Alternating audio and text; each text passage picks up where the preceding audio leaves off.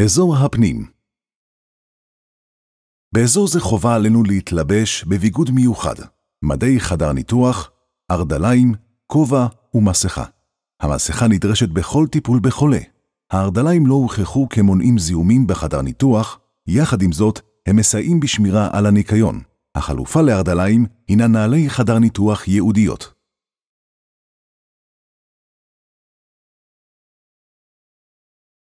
עם כל כניסה לחדר ניתוח, עליכם לרחוץ ידיים בחומר אנטיספטי. פעולה זו מטרתה להקטין את הסיכוי לקרוס אינפקשן ולהפחית סיכון לזיהומים, פטר ניתוחיים, במטופלים.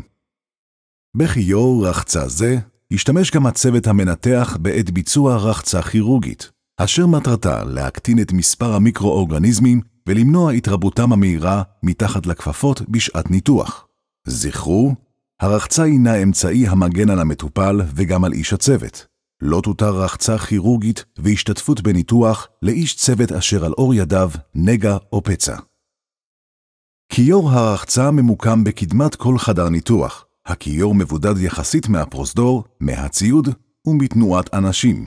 כך תתאפשר שמירה על כללי הספטיקה בעת הרחצה ומניעת התזת מים על ציוד סטרילי. המעבר מכיור הרחצה הכירורגית אל תוך החדר תתבצע דרך דלתות תקניות בפתיחה ללא מגע יד. במרבית פתחי הדלתות בחדר ניתוח קיימים חיישנים, המאפשרים פתיחת דלת אוטומטית. בואו ניכנס ונכיר את חדר הניתוח. אתם ניצבים כעת בתוך חדר ניתוח. תוכלו להתרשם מהחדר כפי שהוא מאובזר בטרם כניסת המנותח לחדר ניתוח. עגלת התרופות ומכונת ההרדמה עומדים לשימוש המרדים. מכונת הרדמה הינה מערכת ניידת בעלת שלושה תפקידים, מתן חמצן וגזי הרדמה, ניטור והנשמה. המכונה מנשימה את המנותח באופן מכני, ובו בעת מנטרת את מצבו.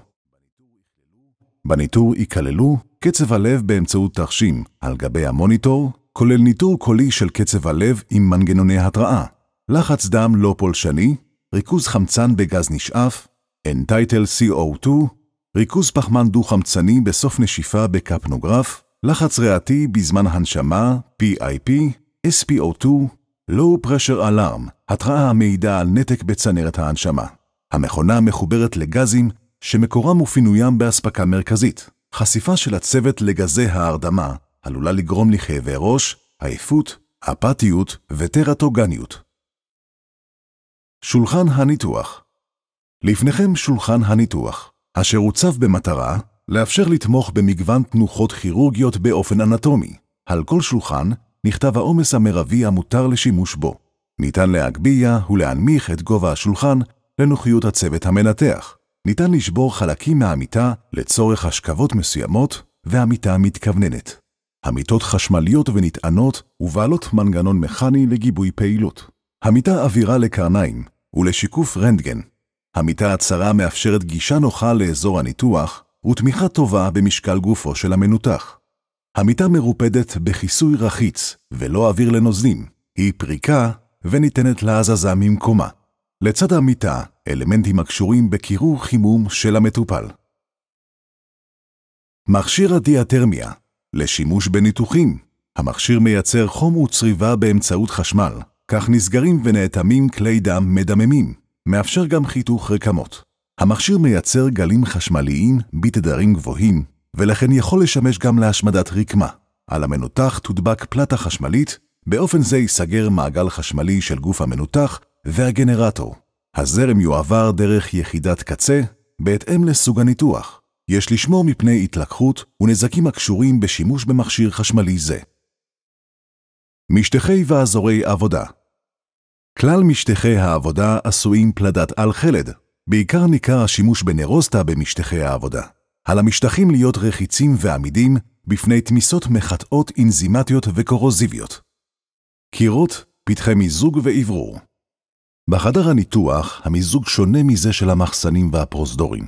למיזוג האוויר בחדר ניתוח, כללים מאוד מחמירים של טמפרטורה, לחות, לחצים וזרימות. שמירה על כל הנ"ל תאפשר מניעת זיהומים ותנאים טובים ונוחים עבור המטופל והצוות. בחדר ישנה מערכת מיזוג הכוללת פתחי מיזוג תקרתיים ופתחי איסוף אוויר על הקירות בסמוך לרצפה. אופן זרימת האוויר הינו לימינרי, מלמעלה למטה, ללא רוח פרצים. לחץ האוויר בחדר חייב להישמר חיובי. הלחץ החיובי מאפשר לשלוט על זיהומים באמצעות דחיקת אוויר החדר החוצה, ולא מאפשר מעבר אוויר מהפרוזדורים פנימה. עליכם לזכור שבפרוזדורים הסמוכים האוויר פחות מסונן. בכל שעה יתבצעו כ-15 החלפות אוויר, כאשר שלוש החלפות מתוכן יהיו של אוויר טרי שאינו ממוחזר. במערכת הפילטרים ישנו מעבה וקולט לחות, המאפשרים שליטה מרבית על מידת הלחות בחדר, אשר ערכיהם יהיו בתחום של 30 עד 60 אחוזים. הלחות נחוצה להפחתת פוטנציאל חשמל אלקטרוסטטי, ואילו היובש מקלקל דבקים ומוצרים. זרימה טורבולנטית של אוויר מקורה בהפרה של הזרימה הלימינרית, והיא נגרמת על ידי פתיחה וסגירת דלתות חדר ניתוח. קירות החדר חלקים, מחופים בקרמיקה או ציפויים עמידים אחרים. על הרצפה להיות ללא חריצים עם מינימום תפרים, קשיחה וניתנת בקלות לניקיון אופטימלי. הרצפה צריכה להיות המשכית לקירות, ללא זוויות, למניעת הצטברות מים ובקטריות. אם ישנם תפרים ברצפה, הם צריכים להיות מולחמים ומותחים באמצעות חום.